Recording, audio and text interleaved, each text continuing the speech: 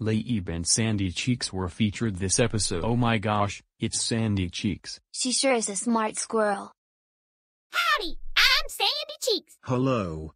I'm La'eeb, the mascot of the FIFA 2022 World Cup held in Qatar. Ah, La'eeb is the mascot of the FIFA 2022 World Cup held in Qatar. Golly, I've never heard of that. Anyway, breaking news. At Steak and Shake, Petey the Paintbrush, MB Bowser, Classic Gumball Watterson, and Skull assaulted 12 people. They're the Loud brothers and their parents.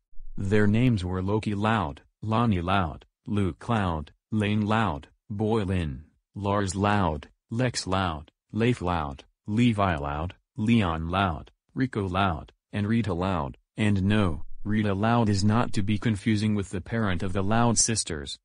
Here's what happened.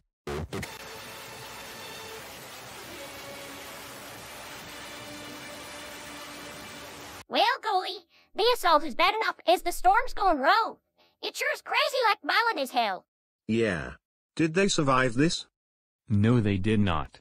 They broke every bone of all their bodies, paralyzed them, and assaulted them up to death. Stay tuned for episode 47 of season 3. Oh, I sure do feel bad about him, though. I'm a smart squirrel in SpongeBob SquarePants. On top of that, someone got assaulted. In fact, there are 12 of them. Loki Loud, Lonnie Loud, Luke Loud, Lane Loud, Boy Lynn, Lars Loud, Lex Loud, Leif Loud, Levi Loud, Leon Loud, Rico Loud, and Rita Loud, and no, Rita Loud is not to be confusing with the parent of the Loud sisters. But they sadly didn't survive this.